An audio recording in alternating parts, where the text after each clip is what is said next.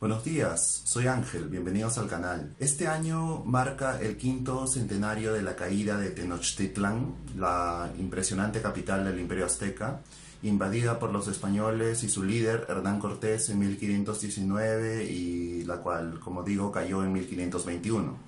Como peruano, esto no debería ser tan importante para mí si no hubiera sido por mi interés en México desde que era niño, habiendo viajado allí en el 2018 y leído mucho acerca de su historia. Hace unas semanas estuve en una librería aquí en Lima y encontré esa novela, Malinche, escrita por la famosa escritora mexicana Laura Esquivel, mejor conocida por su bestseller como Agua para Chocolate. No lo pensé dos veces y lo compré. Malinali, Malintzin, la Malinche o Doña Marina es una de las figuras históricas más controvertidas en México, habiendo sido llamada tradicionalmente una traidora y más recientemente una víctima de las sociedades patriarcales en las cuales ella vivió. Publicada esta novela ya hace 15 años, la edición que tengo es de Atria Books del año 2008. Esta novela se divide en ocho capítulos, cada uno mostrándonos una imagen así como códice. ¿Quién fue la Malinche? Básicamente una mujer nativa de la aristocracia local, de lo que actualmente es Veracruz, y quien hablaba náhuatl, la lengua de los aztecas, aunque habiendo sido vendida como esclava cuando era una niña, muy pronto aprendió el maya, el idioma de sus nuevos dueños. Ella era una esclava cuando fue entregada a los conquistadores españoles como tributo, y desde entonces la mujer y el mito se volvieron uno y a veces es difícil distinguir hasta dónde llega la mujer y hasta dónde el mito. Como intérprete, su rol fue central para el éxito de la empresa de Hernán Cortés, que era la conquista del imperio azteca. Conocer las dos lenguas más importantes del área mesoamericana y aprender también el castellano le valió ser considerada como algo más que una simple esclava. Como dije anteriormente, su rol controversial no la deja descansar en paz, incluso después de 500 años de la caída y destrucción de Tenochtitlán, que es ahora la Ciudad de México, la capital del país. Debido a que en realidad más ha sido escrito sobre la leyenda de la Malinche que sobre ella misma, la señora Laura Esquivel afirma que ella tuvo que imaginar muchos aspectos sobre la vida de la Malinche, qué comía, qué flores olía, a qué dioses rezaba. La señora Esquivel nos indica que los famosos códices aztecas mostraban imágenes más que escritura misma, o al menos yo entendí eso. Y un códice de Malinche, que ella habría pintado, tenía que estar incluido en esta novela. El códice fue realizado por el sobrino de la señora Esquivel, Jordi Castells, y lo pueden encontrar aquí al inicio. El códice de Malinche. Solo tratar de descifrar esto fue una tarea tan fascinante como desafiante. Es impresionante cómo la novela entera está sintetizada aquí, desde su nacimiento hasta su muerte. El hecho de que un códice fuese incluido dota de realismo a la novela e implica un profundo conocimiento del hecho y del mito, los cuales al fin y al cabo son las dos mitades en las que esta mujer está dividida. Desde su nacimiento, el destino, quizás expresado en los muchos dioses del antiguo México, dictó que ella no iba a ser una mujer ordinaria. Incluso cuando de niña su vida daría un giro de 180 grados para mal, puesto que como una hija e hijastra no deseada, terminó siendo una esclava.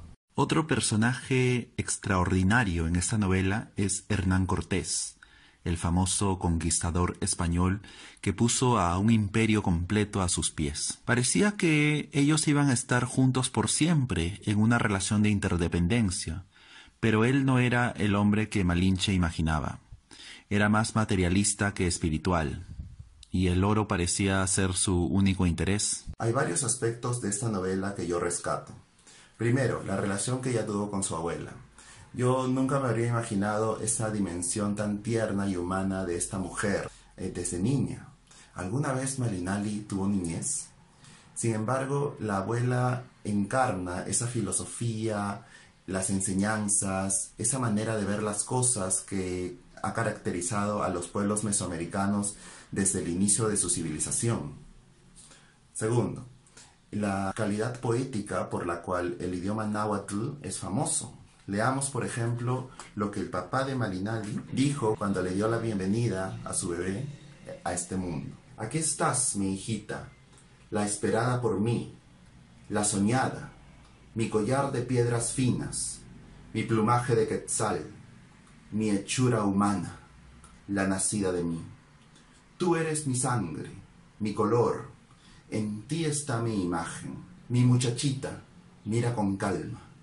He aquí a tu madre, tu señora, de tu vientre, de su seno, te desprendiste, brotaste, como si fueras una hierbita, así brotaste, como si hubieras estado dormida y hubieras despertado. Ahora vives, has nacido, te ha enviado a la tierra el Señor nuestro, el dueño del cerca y del junto, el hacedor de la gente, el inventor de los hombres. Eso se ve en la página 6. Tercero, el poder de la palabra. En la página 27 podemos ver que el mérito fue de la abuela de Marinali para que ésta pudiese usar un lenguaje tan sofisticado a la tierna edad de cuatro años. En la página 33 hay una frase bastante directa, tan cruel como verdadera. Sin palabras, sin lengua, sin discurso, no habría empresa. Y sin empresa, no había conquista. La página 63 nos dice que al ser intérprete, ella controlaba la situación y la palabra podía convertirse en la mejor arma. Este poder de la palabra está unido al aspecto psicológico de la conquista y los dilemas que ésta representaba para un individuo, en este caso la Malinche. ¿Fue ella egoísta y una traidora porque solo el triunfo de los españoles garantizaba su propia libertad? Si ella hubiera dicho que los españoles eran solo hombres y no dioses, ellos habrían sido aniquilados en el acto, pero ella no lo hizo. No solo eso, sino que debido a que ella avisó a Cortés de que los habitantes de Cholula estaban planeando un ataque, él decidió perpetrar una masacre. Ella pudo haber evitado esa matanza. Ella murió ese día. Decepcionada tanto por la crueldad que Cortés mostró, como por la inacción de su querido dios Quetzalcoatl. Ella pudo haber evitado también la destrucción de la gran Tenochtitlán, pero tampoco lo hizo. Siguiente, la génesis de la nación mexicana, la cual no es ni indígena ni española, o sería mejor decir que es el producto de ambas. Su matrimonio con el español Juan Jaramillo no solo produjo hijos mestizos, sino una mezcla de idiomas, mezcla de plantas, el maíz con las plantas europeas, ingredientes de la tierra y de allende los mares, lo cual creó un resultado sorprendente, como se ve en la página 171, la comida mexicana que es tan famosa mundialmente.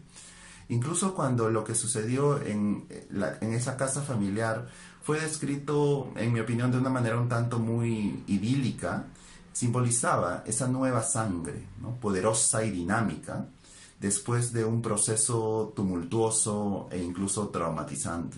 Y por último, la investigación histórica sobre el calendario solar, la magnificencia de Tenochtitlán, sobre los presagios que anunciaban la conquista, sobre la conquista misma, con todo su drama, atrocidades y valor. Sobre la personalidad del emperador Moctezuma, etc. Esta novela coincide con esa visión histórica de Moctezuma como un hombre bastante religioso que se sentía culpable por cómo los aztecas habían distorsionado los principios de la antigua religión tolteca. Eso se ve en la página 34.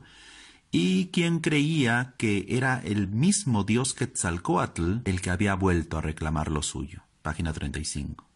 ¿Era él un fanático? La escena del encuentro entre Moctezuma y Cortés, con la Malinche como intérprete, fue algo de veras conmovedor. A través de las palabras de ella, él, Moctezuma, prácticamente cedió su imperio al español.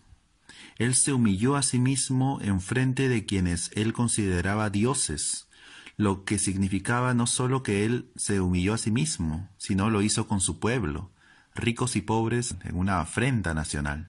A pesar de ser una novela y no un libro de historia, este libro tiene una bibliografía impresionante, 31 autores, tanto de la época como contemporáneos. Y también contiene preguntas para ser respondidas y debatidas en un club de lectura e incluso recomendaciones para hacer una experiencia memorable de dicho club de lectura, como beber jugos de fruta nativa, tomar chocolate caliente, visitar la colección prehispánica de un museo local, ver mapas. Por todo esto, este libro me ha fascinado con sus hechos y su imaginación, con su sabor agridulce, tiene una naturaleza como de un códice, porque todas estas palabras nos muestran también imágenes, imágenes de todo tipo. Definitivamente me arrepiento de no haber sabido de este libro anteriormente y definitivamente lo recomiendo, me ha encantado. Un saludo a México y a todos los mexicanos y bueno, me despido. Chao, chao.